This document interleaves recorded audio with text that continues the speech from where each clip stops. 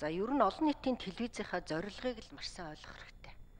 Энэ арилжааны телевизүүдээс ялгаатай. Арилжааны телевизүүд бол тодорхой хэмжээгээр одоо реклам, сурталчилгаа, янз бүрийн одоо мөнгө олох энэ зүйлүүдийг бол бас төлхөө ашиглах хэрэгтэй болдог. Олон нийтийн телевизийн зорилго бол яагаад төсвөө санхүүждэг юм бэ гэхээр ерөөсөө төрийн бодлогыг зөв одоо таниулах иргэдэд энэ нийгмийн гэрэл гэгээтэй зүйлийг харуулахыг оролдох хэрэгтэй. Одоо тэр би бас гадаад явж байхдаа Солонгосын тэр олон нийтийн телевиз, хятадын телевиз үгүй хичнээн сайхан юмнууд гарч ийн. Үгүй тэр одоо байгалийн одоо сайхны яг эсвэл одоо тэр жуулчдад үнэхээр үгүй бүр ийшээ очиж үзэх юмсан гимээр тийм сайхан зүйлүүд гардаг. Тэгэхээр энэ гэрэл гэгээтэй тал болгоныг Монгол улсаа дэлхийд сайхнаар сурталчилдаг. Хүүхдүүд телевиз үзэхээр тэр үнэхээр их оронч үзэлтэй болъё. Би эрдэн боловсралтай болъё. Би эрүүл чирэг бие бэлтартай болъё. Төлөвшөлтэй болъё. Хатуужилтай болъё гэдгийг одоо хүүхдүүд үнэхээр тэндээс хараад бахархахаар тийм контентуудыг л одоо олж бэлдэх хэрэгтэй. Тэгэхээр би контенттой гол анхаарлаа хандуулаач гэдгийг бол зөвхөн загч хэлмээр байна. За та бүхэн мэдж байгаа надад бол бас энэ бүх судалгаануудыг би авлаа л да. Телевиз үзэлтийн судалгаа за ялангуяа хүүхдүүдийн контент за эрүүл мэндийн чиглэлээр ингээд контент гэд авахд маш хангалтгүй байна. Одоогийн одоо олон нийт явуулж байгаа телевизийн контент бол энэ чиглэлээр байхгүй. Тийм учраас монголчууд эрүүл хэв маягийн талаар ойлголт муу. Хавдраар дэлхийд бүх одоо югаар тэргүүлж байна За хар тамхины асуудал бол маш ноцтой хэмжээнд хүрсэн. За сахарын өвчлөл бол ерөөсөө бүх хүнд одоо сахарын өвчлөлттэй ийм одоо ноцтой асуудлууд бол үүсэж байгаа. Тэгэхээр энэ чиглэлээр онцгой анхаарахгүй бол одоо би Баянгол дүүрэг дээрээ судалгаа хийхэд жил болгон манай Баянгол дүүргийн нэг 9 давхар орц тэр чигээрээ хавдраар нас орчиж байгаатай тоо тэнцүү гарч байгаа байхгүй маш аюул. Тэгэхээр ерөөсөө энэ контентоор та нар монгол хүн ирүүл бах уу? Монголын гэр бүл тогтвортой байх уу? Гэгээлэг бах уу гэдгийг та нар дээр энэ үүрэг оногдож байгаа шүү. Тэгэхгүй л одоо хүүхдүүд яаж ийн гэхээр нөгөө баахан савнгийн дуурууд үзээд тэгэл одоо нөгөө эмээ өөтөгөө суугаал янз бүрийн тэр гэр бүл салбмал тиймийг үзээд ингэ сууж идэг. Тэгэхээр контент бол хангалтгүй байна гэдгийг бол энэ миний авсан судалгаагаар бол ноцолж байна. За мөн одоо Ганбаатар гишүүн бас нэлээд зүйлийг олон удаа хэлээд байна. Энэ залуучуудыг ерөөсө хөдөлмөр эрхлэх энэ дуртай болох дээр та нар ажиллаач ээ. Одоо Bloomberg TV-гээр бол маш гоё нэвтрүүлгүүд гарч байна. За тэр Shark нэвтрүүлэг гэдээ бас хүмүүст бас их сайхан хөдөлмөр эрхлэх юм боломжийг одоо харуулж ш. Тэгэхээр залуучууд ерөөсөө телевиз үзэл үгүй би ерөөсөө нэг бизнес эрхлэе. Би ерөөсөө нэг ногоо тарьчээ гэдэг ийм зүйлүүдийг л бодох тийм хүслийг төрүүлэх хэрэгтэй ялангуяа бичил бизнес би одоо энэ сошиалор ингээл тэр хятадын имийг үзэж хахад дандаа бүтээмж нэмэгдүүлэх тоног төхөөрөмжүүдийг сурталчлаад байгаа байхгүй.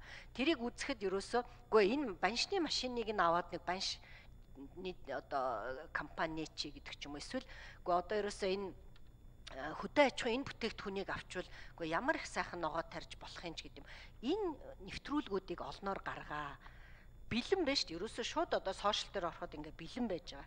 Тэгэхээр өөрөөр хэлбэл бид нар энэ ард иргэдийнхаа тэр хүсэл мөрөөдөл сайн сайхан байх энэ асуудлыг л юунд хүрхийн гэдгийг танаа телевиз тийшээ чиглүүлж явах хэрэгтэй. Та нар бол энэ дээр мэрэгжлийн хүмүүс бол одоо сайхан харуулж чадах байхаа.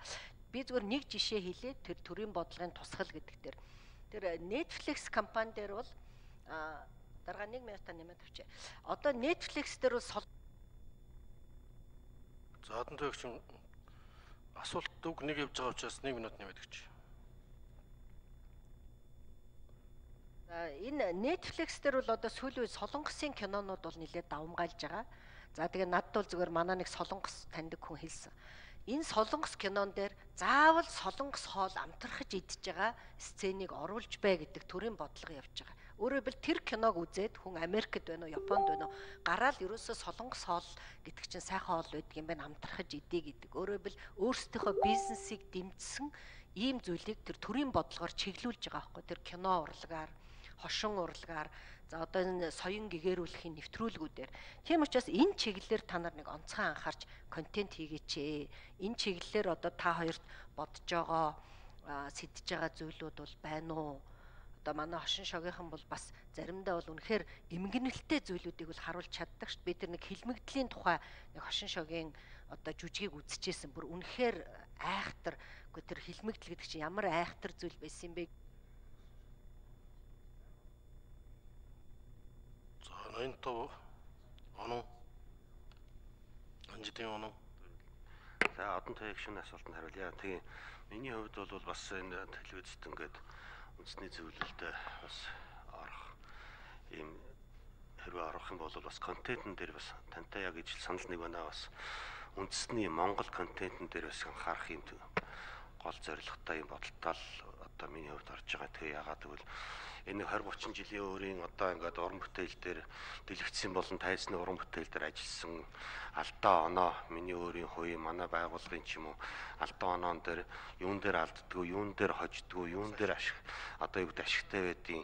гэдэг талаас бас өөрийн одоо 30 жилийн практик байгаа учраас энэ дээр телевизийн уран бүтээлчтэйгээ нийлээд үндэсний зөвлөлийн гишүүдтэйгээ санал оноо солилцоод энэ контентн дээр илүү их анхаарнаа л гэсэн юм зорилготой орж байгаа да.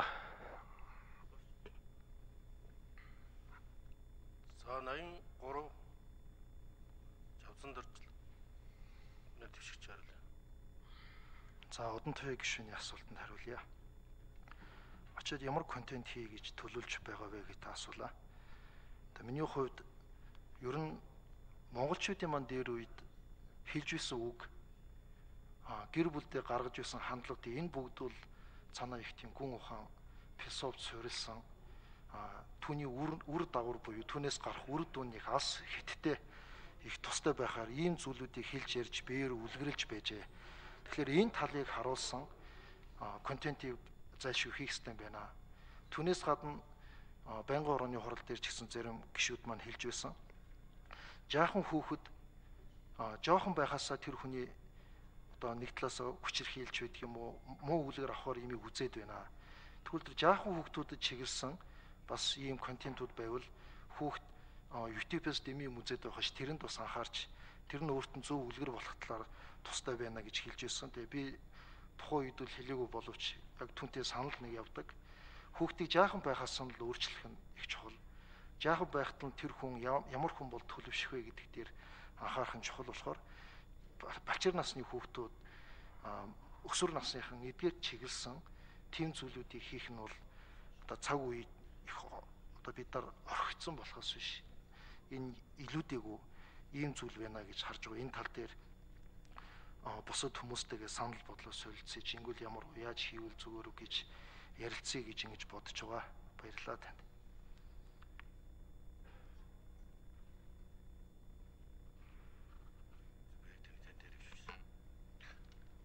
Хайнтан каннибал шүү. За